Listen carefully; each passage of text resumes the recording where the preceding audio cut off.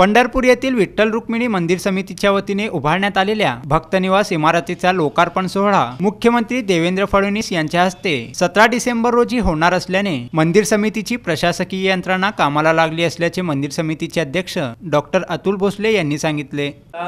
राज्याचे प्रमुख आदरणीय देवेंद्र फडणवीस साहेब नामदार चंद्रकांत दादा सुभाष भाऊ आदरणीय विजयराव मालक त्याबरोबर आदरणीय मोठे परिचारक साहेब स्थानिक विधानसभेचे लोकप्रतिनिधी विधान परिषदेचे लोकप्रतिनिधी या सगळ्यांच्या उपस्थितीमध्ये भक्त निवासाचं उद्घाटन हे होणार आहे.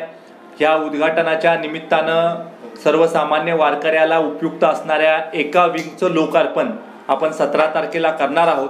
आणि येणाऱ्या महिनाभरामध्ये टप्प्याटप्प्यांनी पूर्ण भक्त निवासाचं लोकार्पण हे होणार आहे. महाराष्ट्रामध्ये आणि देशामध्ये भव्य अशा पद्धतीचं हे भक्त निवास आहे.